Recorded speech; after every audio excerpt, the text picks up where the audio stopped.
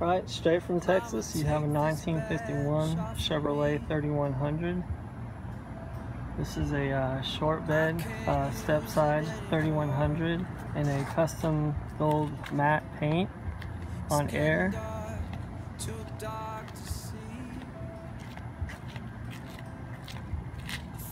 Just to walk around of the truck.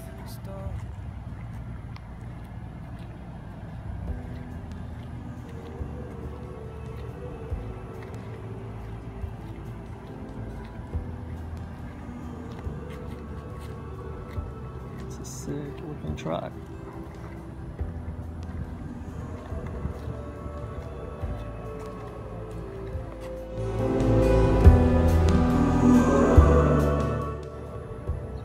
This is the interior.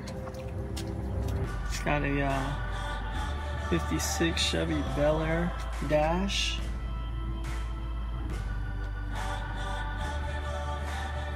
Low car shifter with a custom uh, shift knob with a scorpion in it. It's been to a number of uh, Texas car shows, including the Showdown. It's got a nice little uh, split bench seat, red and black. The interior is also covered in uh, Dynamat, so that makes a world of a difference uh, on a uh, hot Texas day in the hundreds.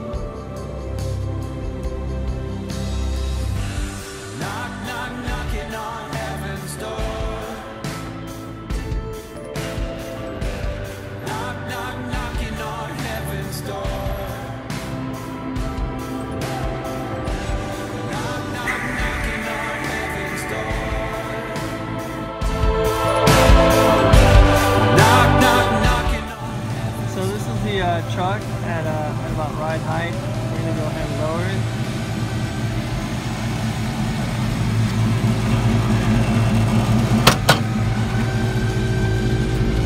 Got a couple of rocker panels there.